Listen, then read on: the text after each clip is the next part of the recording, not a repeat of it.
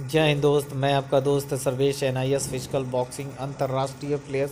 दोस्त, सबसे बड़ी बात, Jharkhand post office GDS online form आ चुका है, यानी झारखंड ग्रामीण डाक सेवा की वैकेंसी आ चुकी है, जो कि एक सौ, एक हज़ार एक सौ अट्ठारह पोस्टें दी गई हैं। यहाँ पे जो प्रारंभ, प्रारंभिक तिथि है फॉर्म भरने की 12 नवंबर 2020 से स्टार्ट हो चुका है और 11 दिसंबर 2020 तक झारखंड के फॉर्म भरने की आखिरी तिथि रहेगी।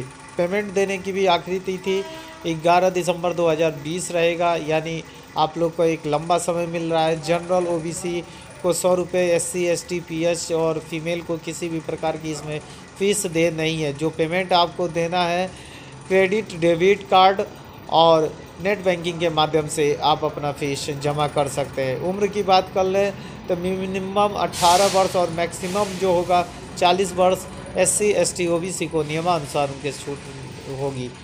इसमें योग्यता दो जो रहेगी, हाई स्कूल पास मैथ और इंग्लिश के साथ आपको हाई स्कूल पास होना अनिवार्य है। जनरल को 480 सीट, ओबीसी को 117 सीट, ईडब्ल्यूएस के लिए पंचानवे, एससी के लिए 121 और एसटी के लिए दो सौ चौहत्तर पीएच के लिए 31 पोस्ट, टोटल 1118 पोस्ट यहाँ पे रखी गई हैं। इसमें जो आपको डॉक्यूमेंट्स मेंशन करने हैं, सारे डॉक्यूमेंट्स आपके सामने हैं।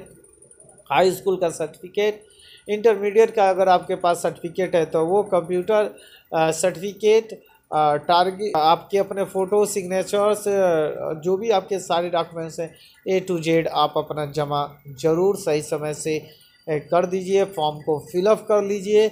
इसके अलावा आपको बता दें कि ये जो एक हज़ार एक सौ अट्ठारह पोस्ट है, इस पर महिला और पुरुष दोनों आवेदन कर सकते हैं। 12 नवंबर 2020 से फॉर्म भरना स्टार्ट हो चुका है और 11 दिसंबर 2020 तक इसका फॉर्म भरा जाएगा।